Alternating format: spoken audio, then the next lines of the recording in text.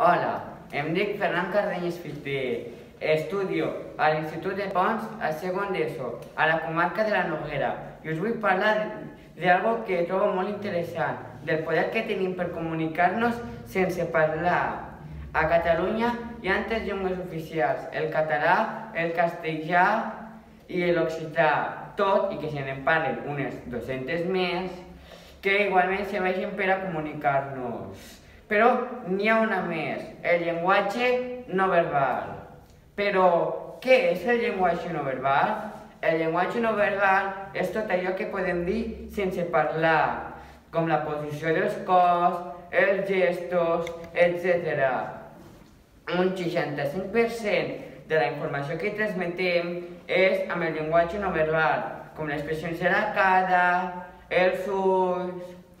Actualment, la pandèmia que vivim està suprimint part d'aquest llenguatge no verbal, degut a que com que hem de portar mascareta, hem de, hem, hem, no podem veure la boca dels altres, ni els altres podem veure la nostra boca, però que hem de reforçar la dita de que amb els ulls se comuniqui l'ànima.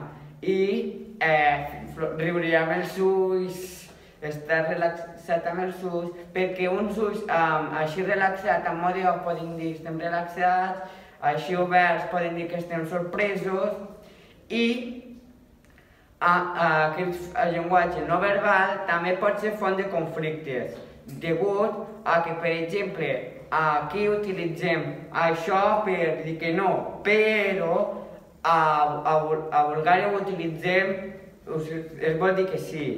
A Grècia, als països anglosaxons i a Rússia, eh, això és un insult obscè, però aquí vol dir que ok a, a, a Grècia, a, a Grècia, atès perquè això vol, eh, per dir stop aquí, eh, vol dir que Serate se'n vagi directament a l'infern.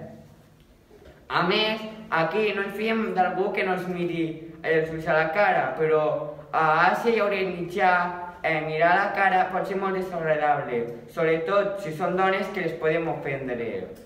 Així que, a més, a més d'informar-nos sobre llocs turístics, mapes, també eh, fe, fe, intenteu informar sobre els gestos per estalviar-vos algun, alguna discussió. Apa, gràcies per escoltar-me i que tingueu bon dia.